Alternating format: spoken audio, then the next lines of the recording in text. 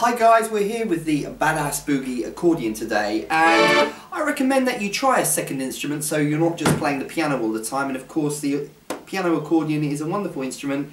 The only issue with it is that it's left hand. If you come over to the left hand camera person, uh, if you can play the piano, the right hand obviously is, is the same as the keyboard but the left hand is where the issue is and for example this button here on the left hand, playing the left hand, is C and this would be a scale of C. If I can still play it now, I haven't played it for ages.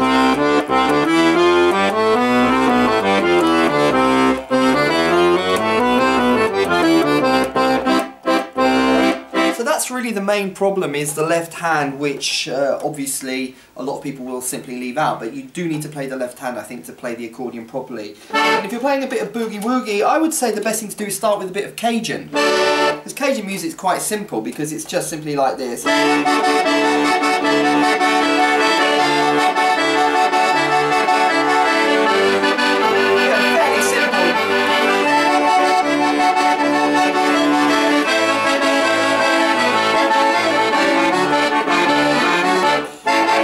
Course the great Clifton Chenier uh, invented the whole Zydeco movement. If you don't know Clifton Chenier, it's very much related to Boogie Woogie. Listen to some of his stuff.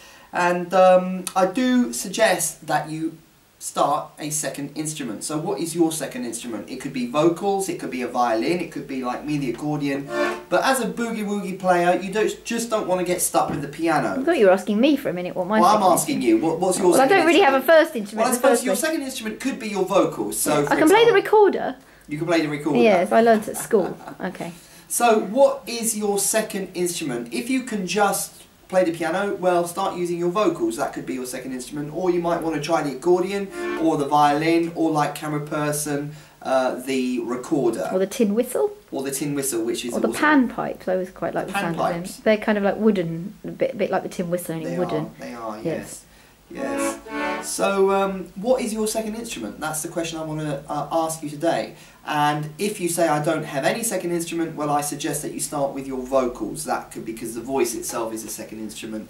But I want you in this lesson to consider taking up a second. Couldn't dancing be a second instrument as I suppose, yeah, you're using your body as an instrument. Indeed. Would you like to give us a little dance camera person? There.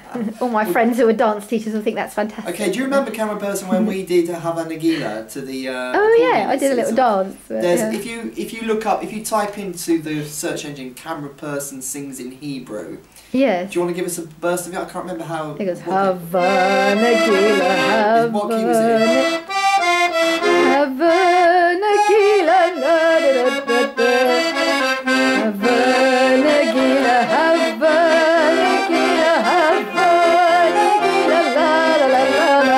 I think that's enough for that. now. And uh, for the record, I have no connections to Hebrew or Judaism, um, so I thought I thought I did quite well. I have Irish roots Irish in roots. English, so quite boring. But Okay. uh, oh, sorry, I didn't mean boring. Obviously, we love the Irish and the English, but um, no. But I thought I did quite well considering that. You did, yeah. There is an old uh, video we did ages ago. I probably got unfriended by all kinds of people I who know we, I- Hebrew. I, think we did. um, and thought, if you want to see camera person, type in camera person sings Hebrew, but it's quite an old video. I just And, like the uh, song. I like. and we did it. It's, it's a it's a Jewish folk song.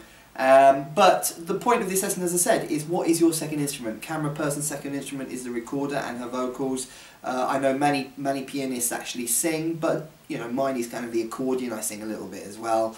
Um, but what is your second instrument? So go out and uh, think about that and start singing or start playing another instrument so that you don't just get hidebound with just the piano. This is Dr. K encouraging you to stretch your musical comfort zone. Press that like button. Click that little icon there, that's the Badass Boogie Bundle with all the Boogie Woogie sheet music. You can go to our Boogie Woogie sheet music store and download all the Boogie Woogie sheet music you need by clicking that icon. And I will talk to you Very soon. soon.